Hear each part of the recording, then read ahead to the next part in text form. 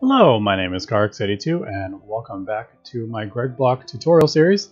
Today, I'm going to be talking about battery buffers and transformers. Now, there are four different types of battery buffers. There's a one slot battery buffer that can take one battery. There's a four slot, can take four, nine, and 16. Now each of these batteries, we have a small sodium battery here. If we look, there's multiple tiers. In the earlier, the earlier tiers have multiple batteries. So we have small lithium, small cadmium, and small sodium. They all output 1 amp of 32 EU per tick, or whatever tier it is. So tier 1 is LV, 32 EU per tick. But they hold a varying charges. So this holds 50,000, this holds 100,000, this holds 75,000. And each require different processes to obtain. Um, sodium is probably the easiest to get, but lithium has the best charge. So like I said, each of these battery buffers outputs 1 amp. So if we look at the first one, this is outputting 1 amp at 32 EU per tick. This one can output 16 amps at 32 EU per tick and can hold a lot more. If we look at the tooltip at the top, the energy, this can store 50,000 EU, 200, 450, 800,000. Now if we go over here, I have two diesel generators set up into a four slot battery buffer. So I have one battery in there. Let's add a second battery. That is filling up. If I add a third battery, or two more, it's actually going to, as we can see, it's filling up left to right and then down. So if I take this out, it's going to fill that one up.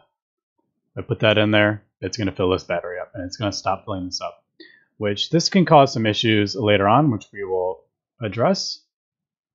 But basically what it's going to do is as soon as it fills up this battery, it should move on to this battery and then it'll move on to this battery. It doesn't charge up the whole battery buffer at once.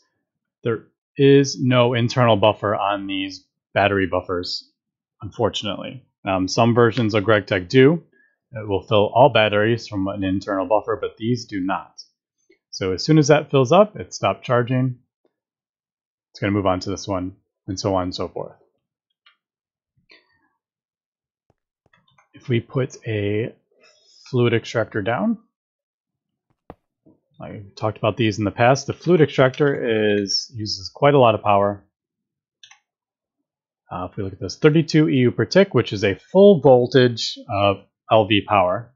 It needs to be getting 32 EU per tick to work. Now, the cables, if all the different cables have loss per block. So if I put a tin cable down, I actually have to if we look at this, the like I said, the batteries output one amp each. So there's four in here. There's four batteries with a charge. So this is going to be outputting four amps worth. If I put a 1x tin cable, it's going to burn up. If I put a 4x tin cable, it's not going to burn up. All right, so that's supplying the power to my fluid extractor. And as we can see, it's actually not getting enough power. And we're looking at this. Why is this not getting enough power? This is outputting 32 V per tick. The reason for this is one of the quirks of battery buffers is it's only going to output 1 amp per battery. This needs 32 E per tick. The machines can only accept 1 amp from the battery buffer. So it's outputting the 32 E per tick. It's getting a 31 with a loss. 30. This is only receiving 32 E per tick. As we can see, it's still working. It's getting enough to work, but is actually struggling with the power. You can see it, it actually loses a bit of progress there. And I can demonstrate this if I use superconducting wires. These have zero loss per block. If I put this down, that is actually getting enough power. Let me turn this off really quick and it'll fill up. There we go. So as we can see with the superconducting powers, this is getting enough power, the 32 E per tick, because there is no loss. I'm not going to really get into loss and how cables work. I do have another video on that. I will put a link at the top. Um, but I'm not going to get too much into the, the loss in the cables. Now, if we break this for now and place the cables down, I have the two generators. And if we look at this, now it is actually getting enough power. The two generators let me grab another iron ingot. Throw in there. Alright, so that's weird. It needs 1 amp of 32 EU per tick. So why is it working with the two generators and it's getting enough power? So it's pulling enough from this and it's actually getting more from this generator. And I am not entirely sure I'm not 100% positive on this, but I believe it's because the generators are outputting the EU. It's sending the um, the power out. So it's sending the power to the generators, whereas the battery buffers, and this is totally guessing, do not automatically output the the amps. So what this is doing is requesting the 1 amp that it needs the 32. So only one of these batteries is outputting enough. And I believe that's how the battery buffers work. Um, which you can might be asking yourself, well, why would I ever want to use battery buffers? And one of the reasons you're going to want to do that is I'm going to break these. I'm going to use the superconducting cables from now on. I'm not going to talk about loss anymore. Like I said, I've already been over that, um, so we're not going to really get into that. But so the question is, why would you use battery buffers when having the two generators on there can power this, where the battery buffer can't? And uh, the reason for doing that is adding multiple lines onto this um, onto the, the line here. So I have the 4 amps, they're being charged up from two diesel generators if we put this down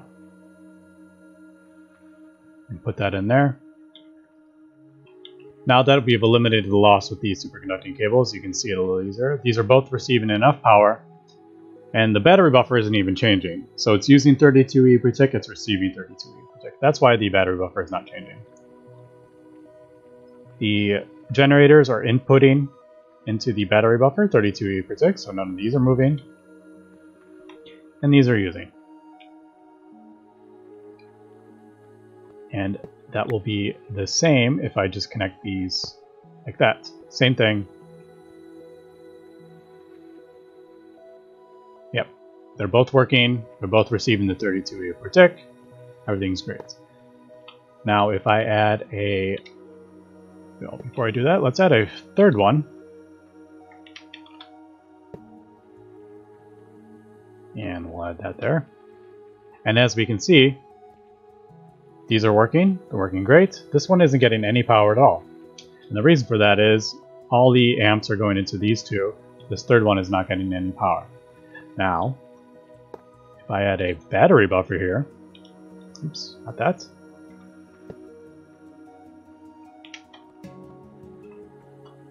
There we go. Now I have all three machines running off two diesel generators.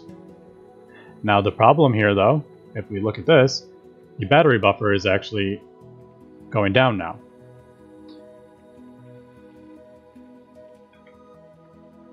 So the um, the machines are using 32, 32, and 32, but we're only producing the uh, the 2 amps. We're only producing 64. So as we can see, we can actually run more machines with less generators if we use battery buffers. Now obviously I'm using superconducting cables. These aren't going to be obtainable early on. This is not going to work exactly like this if you use cables with loss in them.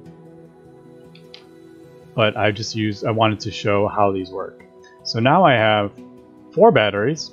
It's draining even faster now. It's draining two batteries, but it's running four at a time. I'm actually using uh, 256 EU per tick and only producing, or 128 EU per tick, but I'm only producing 64. Now this battery is going to run out. Now we're going to have an issue. So there we go. The batteries run out. Now I am only outputting 3 amps worth of power. And if I take this out, now I'm only producing oh, that one is finished. There we go. So yeah, these are gone. So the batteries only output, even though I have four batteries in here, the batteries only output if they have a bit of a charge in them. So I replace that. This has a charge in. Now it's going to be... Yeah, these can run now. If I replace that with an empty battery buffer, they can't run. So the battery buffers allow you to run more machines than you normally would with the amount of power that you are producing. I'm only producing 64 U per tick, but I can run more with the batteries.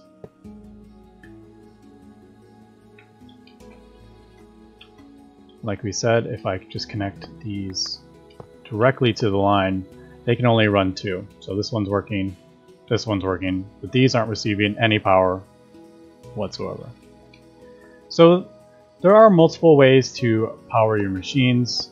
Uh, battery buffers basically allow you to do store up the power and discharge it um, when needed. The best uses for battery buffers are kind of burst crafting. I'm running four machines here, which are using more power than I'm generator, so eventually this is going to run out. But say if we pull all these out, I'm doing a bunch of crafting all at once. And let's say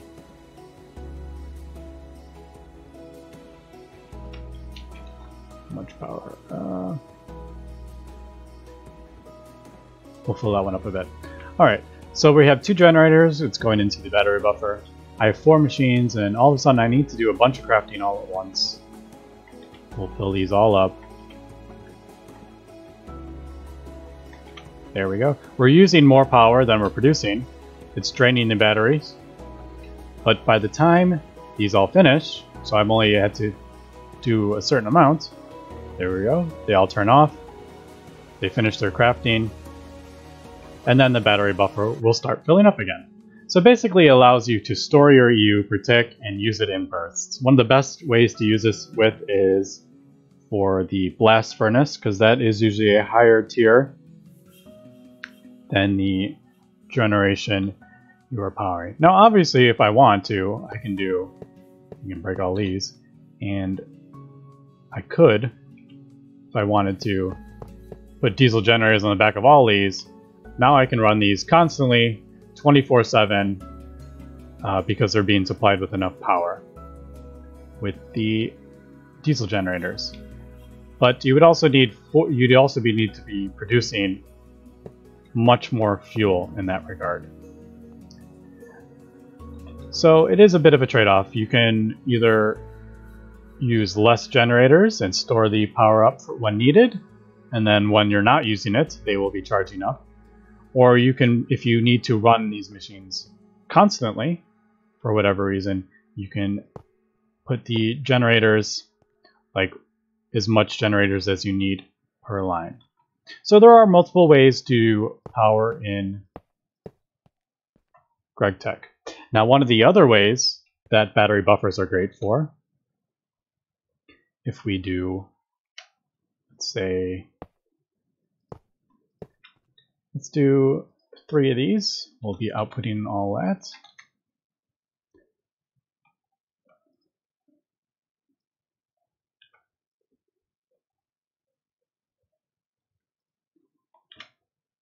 All right, so we have three basic diesel generators. They're outputting 32 low voltage. What I can actually do is put this on a, let's say, a medium battery buffer.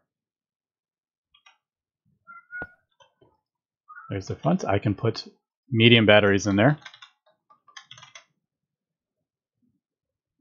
And where are we? Let's do medium sodium batteries. So there we go. Now I am filling up medium voltage uh, a battery buffer with LV power.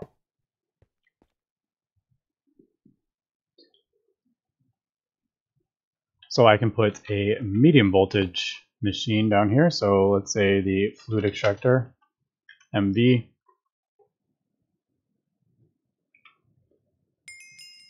Oops, I got the fermenter. That's not what I wanted.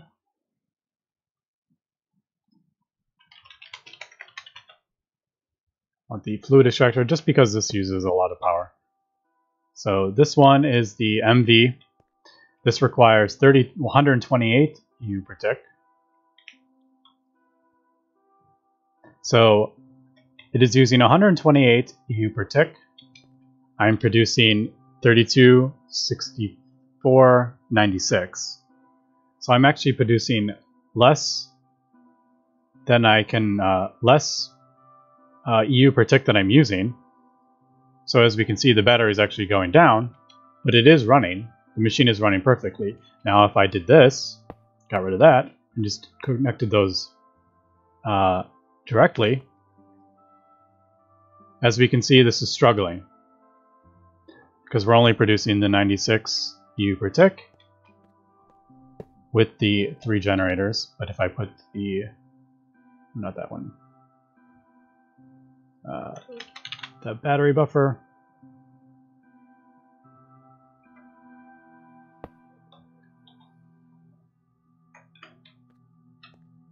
This runs fine. It's getting enough power because the one battery is outputting.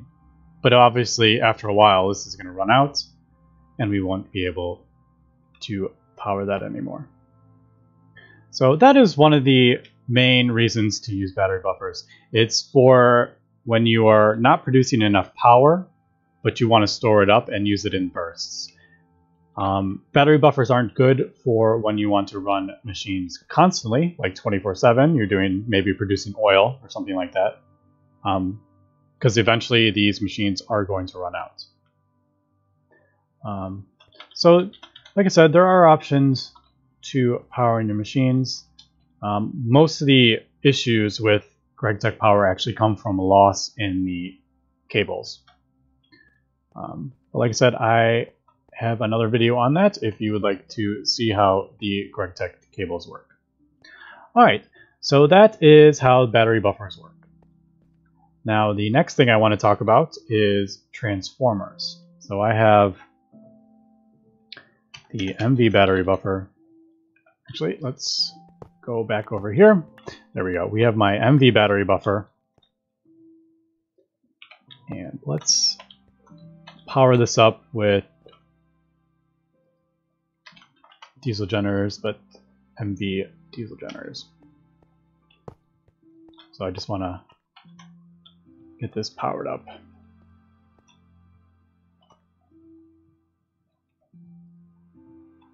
All right, so there is my battery. As we can see, it filled up that one and moved on to the next one, so on and so forth. You can kind of trick it to fill up which one you want. Whatever is the first slot is going to fill up. So there we go. So, so now I have four batteries with some charge in it. This is going to output 4 amps. Now, what we can do, if we want, we have MV turbines filling up an MV battery buffer. But I want to run LV machines. And I'll put this way, oops. That's fell off the thing. If I put, obviously, a basic fluid extractor here, this is an LV tier. If I put this down, it's going to blow up because it got MV tier power. So that's not going to work. But what we can do is output to a transformer. And what we're going to want is an LV transformer.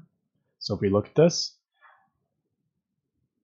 there is two transformers per tier. So this one can take in 32 or LV and output a lower tier, or you can take in a higher tier and output that lower tier. So this takes in M MV and outputs LV. This one can take in LV and outputs ULV. So what we're going to do is put down this transformer.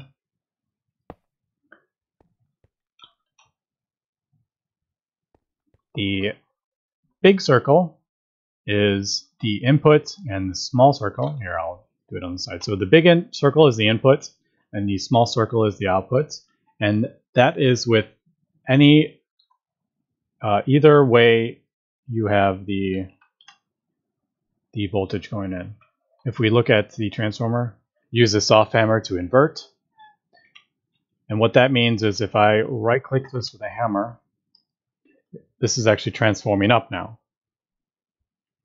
So this is inputting, it's transforming up. If we look at the bottom tooltip, it's taking in 32 EU and outputting 128.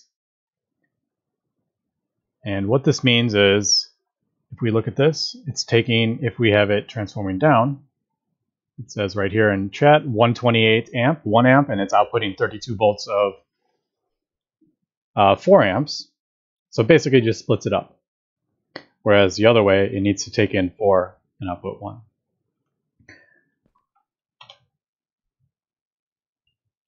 But uh, like I said, this is the circle, the big circle and the small circle. And either way, if you're transforming up or down, the big circle is the input.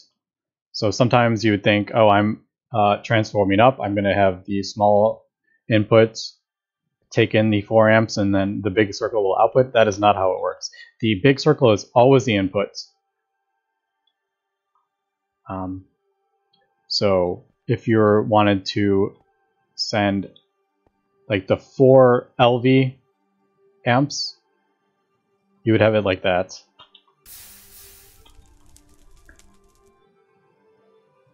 And uh,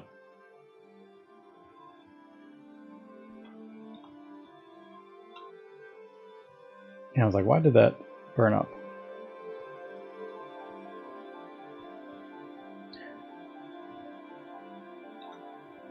That was a bit weird.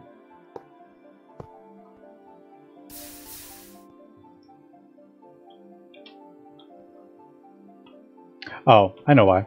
I just realized. Because the batteries are trying to output 4 amps, and they're going into the transformer and it's actually outputting them back. So this is using more cables than uh, I can handle. These can only handle 4 can Let's check that really quick. I actually just figured that out. So in theory, this is taking in the 2 amps and outputting 4. Yep. So that's why. Okay. I never realized that. That's so funny, I just figured that out. So, yeah, the long story short, the small circle is always going to be the output, no matter if you're transforming up or down. Alright, so these are outputting 4 amps at 128. Let's just double check. And the reason that blew up is because I switched it transforming in, and the small circle, or the large circle, which was the input, we look in chat, tried to take in 32 amps and it was too big for it, so the transformer exploded.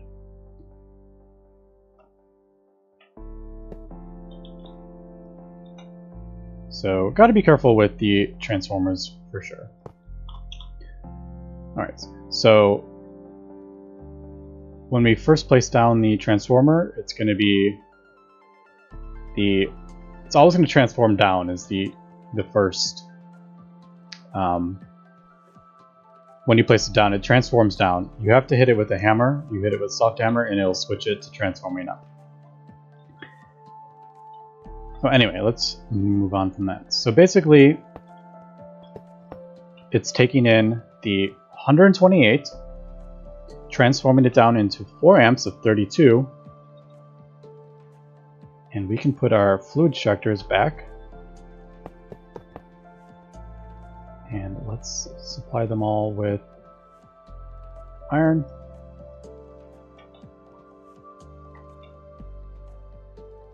And there we go. They are all running, getting enough power with the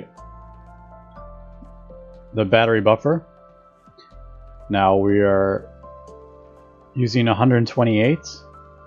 We are producing 256 here. So the batteries are staying full. It's going down here into the amps and it's feeding the machines and they're all running off power even though I have a medium battery buffer here. Now one problem that I have found out with the battery buffers, the transformers can only accept 1 amp. So if I add another fluid extractor on the end, let's get some iron.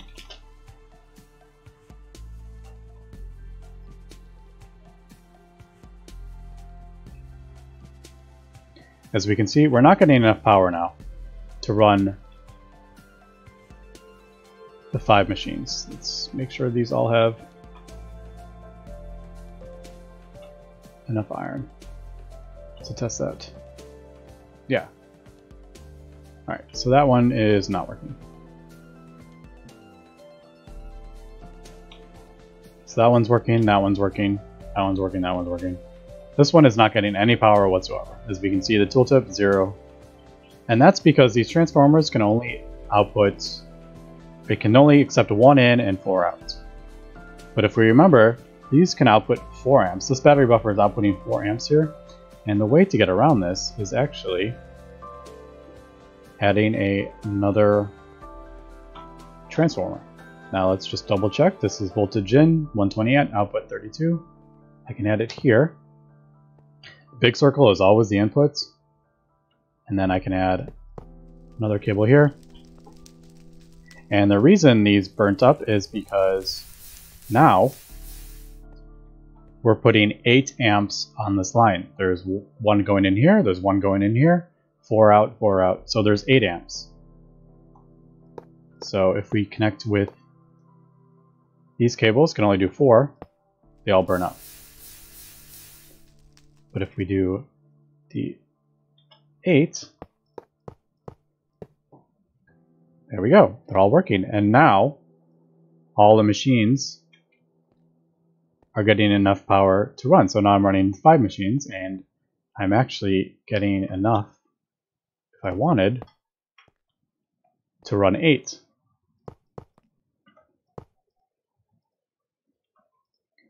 At once. So there we go. Now I have eight machines running. And then obviously if I add a ninth, this won't work.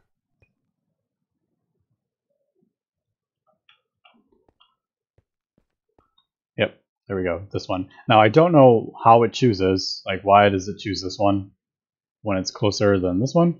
I don't know how that works. So, but the main takeaway from the transformers is they can only accept 1 amp in and 4 amps out. So this uh, medium battery buffer here can actually output 16 amps worth of voltage. Let's see, these cables can't handle that, obviously. Um, but if we look at this, Oops.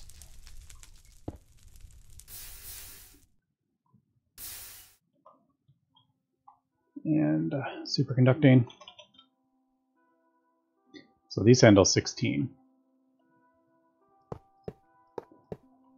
And we can connect all these. So there we go. As we can see, 4 amps of MV out to 16 amps of LV and you can run all these machines off one battery buffer.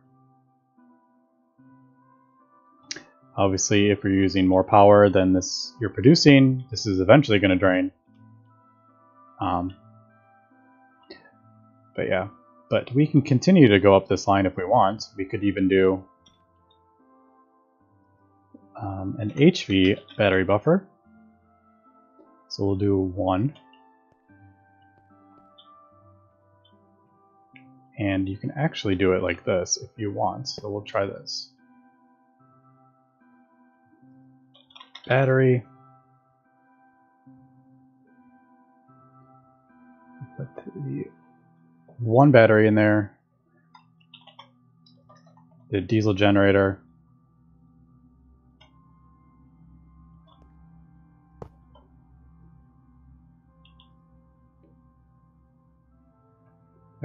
So this is making HV power.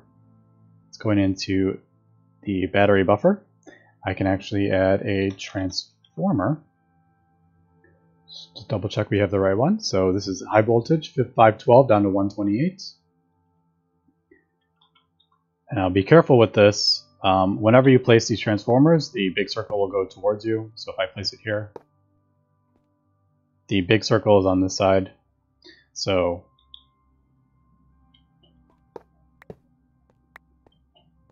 if we look at this, we're producing the 512 EU per tick. It's going in the battery buffer.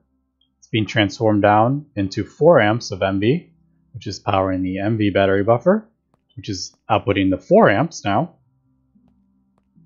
That's being transformed down into 16 amps of LV power. So as we can see, you can go down the tiers here with higher um, producing higher amounts of power and it grows exponentially. It's times four for each tier.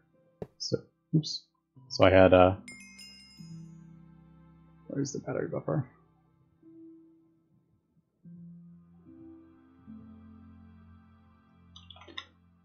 I accidentally broke that.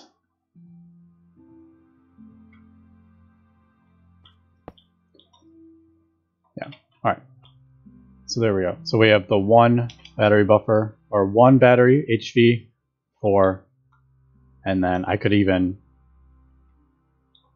you know, 16 batteries if I wanted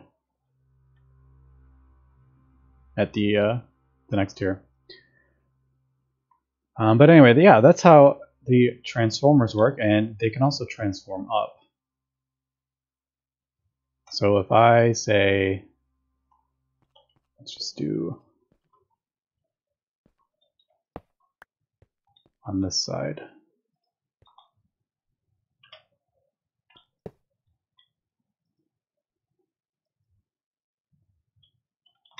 Actually, let's do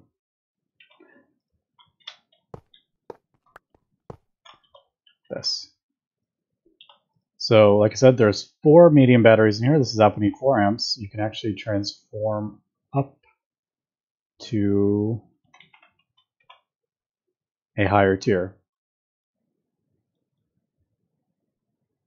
All right, so high voltage.